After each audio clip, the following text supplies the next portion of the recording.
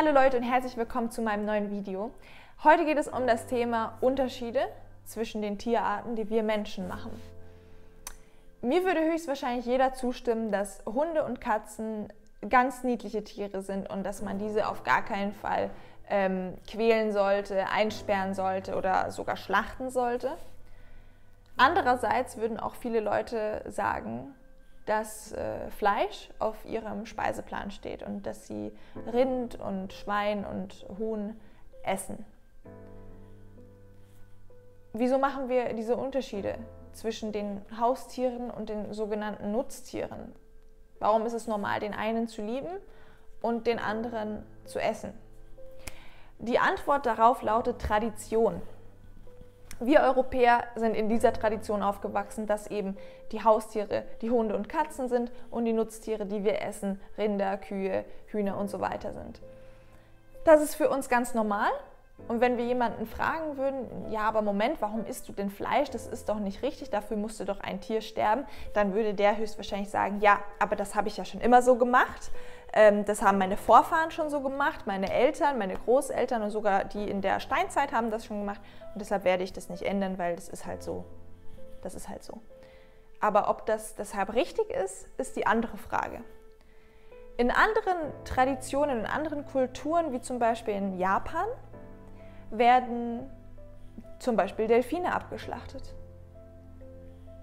In anderen asiatischen Ländern werden Hunde gegessen. Wir Europäer deuten mit erhobenen Zeigefinger auf diese Länder und sagen, das sind Tierquäler, das darf man nicht machen, man darf keinen Delfin abschlachten, man darf auch keinen Hund abschlachten. Das ist schrecklich. Während wir genau das Gleiche machen, nur mit anderen Tierarten. Nur weil etwas Tradition ist oder weil es so üblich ist, weil wir das schon immer so gemacht haben, heißt es nicht automatisch, dass es deshalb auch richtig ist und gerechtfertigt ist. Jedes Tier hat ein zentrales Nervensystem. Jedes Tier kann denken. Jedes Tier kann fühlen. Wieso machen wir also den Unterschied und sagen, dieses Tier fühlt mehr als dieses Tier und dieses Tier hat mehr das Recht auf Leben als dieses Tier? Jedes Tier verdient es zu leben, jedes Tier verdient es geliebt zu werden oder aber in Ruhe gelassen zu werden. Wenn man Tiere nicht lieben und respektieren kann, sollte man sie wenigstens in Ruhe lassen können. Den gleichen Unterschied machen wir auch, wenn es zum Thema Zoo kommt. Viele Leute sind immer noch der Meinung, dass Zoos tierfreundlich sind, dass Zoos ähm, gut sind, weil sie für Artenerhaltung und äh, Naturschutz und sonst irgendwelche Sachen sorgen was übrigens alles äh, Lügengeschichten sind, dazu aber später. Was ich jetzt sagen will, ist, wenn man einen Hund einfängt, in einen Käfig sperrt und niemals mit ihm spazieren geht, würde das unter Tierquälerei fallen. Die meisten Menschen würden mir zustimmen und würden sagen, das darf man nicht machen. Ein Hund, der braucht seinen Auslauf, den muss man spazieren führen, man muss sich mit ihm beschäftigen. Wenn man aber aus der Natur einen Eisbär nimmt und ihn in ein kleines Gehege steckt, für den Rest seines Lebens. Tiere, die normalerweise kilometerweise Strecken zurücklegen. Die leben ihr ganzes Leben nur noch in einem kleinen Gehege und werden nie wieder rausgelassen. Das fällt nicht unter Tierquälerei. Das ist Freizeitbeschäftigung. Das ist ein, ähm, ja, ein netter Familienausflug. Man tut dabei sogar den Kindern noch etwas Gutes, denn ähm, die freuen sich, dass sie ein paar nette Tiere sehen können. Warum machen wir auch hier diesen Unterschied? Und warum sehen die Leute immer noch nicht, was Zoos mit den Tieren tatsächlich machen? Tiere werden in Zoos unter Drogen gesetzt. Denn es ist mental, es ist psychisch nicht auszuhalten, wenn man als freies Tier in einem kleinen Gehege sitzt. Sein ganzes Leben lang. Die Tiere gehen mental zugrunde, deshalb kriegen sie Antidepressiva, damit sie nicht an ihren Depressionen sterben. Wenn Tiere aus Zoos entkommen, dann werden sie erschossen.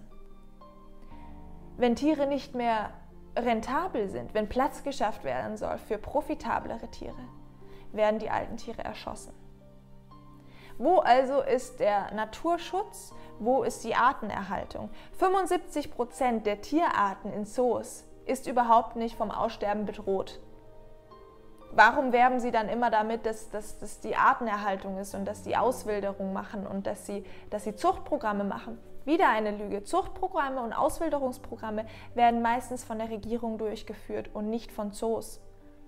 Um Tiere neu anzusiedeln, um gefährdete Tierarten wieder zu bevölkern, sage ich jetzt mal, braucht es lediglich ein Zuchtprogramm, keinen Zoo.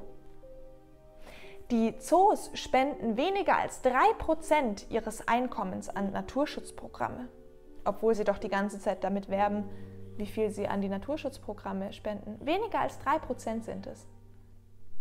Tiere gehören nicht in Zoos. Tiere möchten nicht eingesperrt werden, sie möchten nicht von Leuten angegafft werden, sie möchten nicht, dass die Leute gegen ihre Scheibe hämmern oder ihnen ähm, Müll ins Gehege werfen. Ja? Das möchten die Tiere nicht. Die Tiere möchten in Ruhe gelassen werden. Ich weiß, Tiere können nicht sprechen. Sie würden das selbst nicht so sagen, wie ich es sage, aber ich bin heute hier, um meine Stimme für die Tiere zu erheben. Um ihnen zu sagen, die Tiere möchten in Ruhe gelassen werden. Tiere in der Natur möchten bitte in der Natur bleiben und alle Tiere möchten leben. Lasst uns heute noch aufhören, Unterschiede zwischen Tierarten zu machen und stattdessen die Tiere einfach in Ruhe zu lassen.